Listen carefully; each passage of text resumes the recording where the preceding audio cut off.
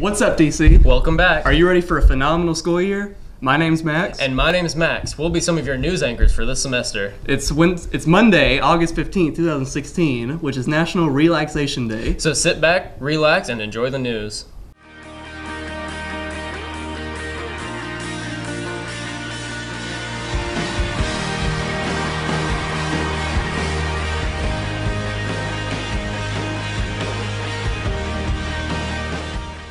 Congratulations to Daniel Loves as he shot 69 at Kenny Perry's Country Creek on Saturday to win his first high school tournament.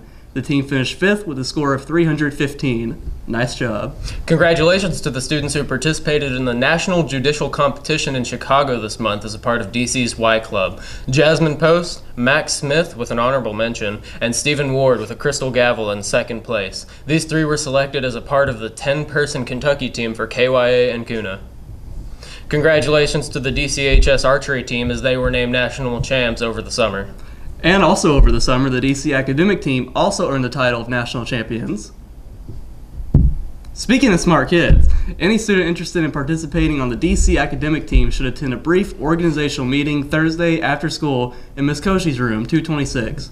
If you can't attend, see Mr. Hayden, room 170, Mr. Easley, 213, Ms. Shafisi, 201, or Ms. Koshi, 226. Attention 2015-2016 foods and nutrition students. Anyone interested in cooks around the world need to stop by Miss Selby's room for more information. If you're participating, you must attend the informational meeting next Monday, August 22nd. Attention all Mr. Norris's art students from last spring semester. You need to pick up your artwork by this Friday or will be given or thrown away.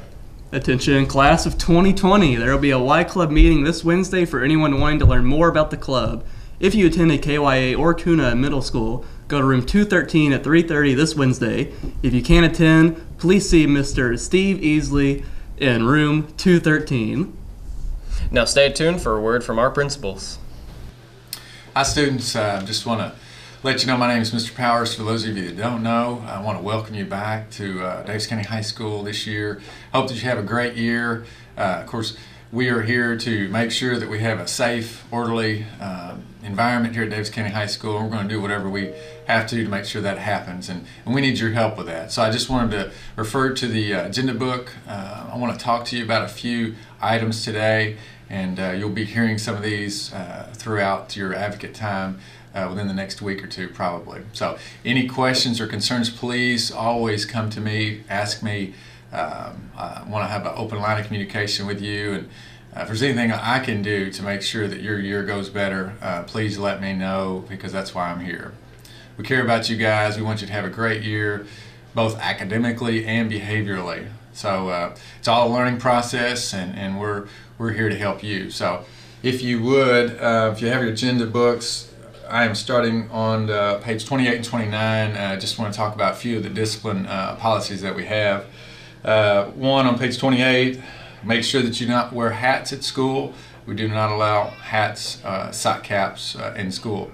You can wear them before and after school, but when the bell rings to start school, we do not wear hats. So just work with us on that, please. Um, shirts and tops, make sure that you have your shoulders covered. We do not wear sleeveless garments. Make sure that you have a sleeve on the garment that covers the shoulder. Um, with the shorts and skirts for girls, particularly, uh, make sure that you have the garment has to be at least one inch past fingertip length. So your arms would be normally just hanging down like normal, and then the garment would have to go one inch past your fingertip length. Now, with the running shorts, sometimes those are too short, uh, especially if they might be okay in the front, but sometimes they go up on the side and they have to be the same length all the way around as far as that one inch barrier that we, we talk about for the garment. So make sure that you have that. Skirts are the same way. Just make sure that they're long enough. Um, you know, if you have an issue with the dress code, we'll work with you here the first few days. We want to talk to you about it. We'll give you a warning, but then after that, it's you know, you do lose an exam exemption, so make sure that you are in dress code. If you have a question about that, you're not sure, please ask us before you wear it. That way you don't get in trouble. With the pants, um, with the leggings, crop leggings, jeggings, yoga pants, compression pants, uh, sometimes we see that more in the fall and the winter with girls uh, like to wear those. Those are fine to wear. Just make sure that you have something that's covering your bottom and side and front area. It's got to be the same length all the way around. It can't come high low on the side, can't be short in the front and then long in the back. It has to cover your bottom and be all the way around covering you. Uh, now, they make shirts that I think nowadays that, that help with that. Uh, sometimes people wear jackets. It's, it doesn't matter as long as you are covered. You can wear the pants, you can wear something over the pants as long as you are covered. So work with us on that, please. No sleepwear. We do not wear pajamas at school. Obviously, uh, swimwear uh, not allowed. Offensive clothing. Uh, anything that would be deemed offensive to anyone, uh, we do not wear. Whether it's a slogan or something on a T-shirt or something that an emblem that might be offensive, please uh, work with us. Don't wear those to school. We do not uh, need. Um, people getting upset with each other or tensions uh, because of that. So, um, coats and, and uh, book bags. Make sure that you, if you, are wearing, you can have a book bag at school. We just need it to be mesh. Uh, if you do not have a mesh backpack, then you need to make sure you put it in your locker when you come to school, and then uh, go to your locker uh, between classes, whatever. You can get it after school. That's fine, but uh, help us with that on the book bags. Hey, Daviess County. Smile. It's great to be a Panther.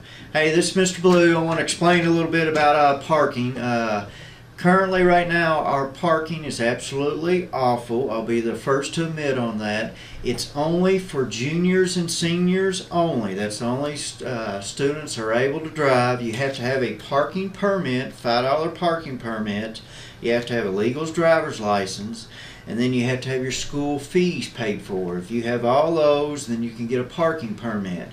Uh, I'm, I'm, and I'm going to be honest with you. I hope we do not run out of parking spots, but um, I'm not going to lie to you. It, it's a possibility. We just simply do not have enough parking spots.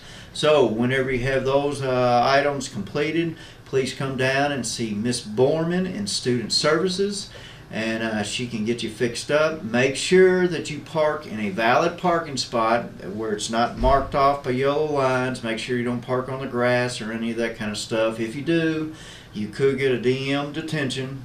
Don't want to see that happen because if you do, then you lose that all important exam exemption.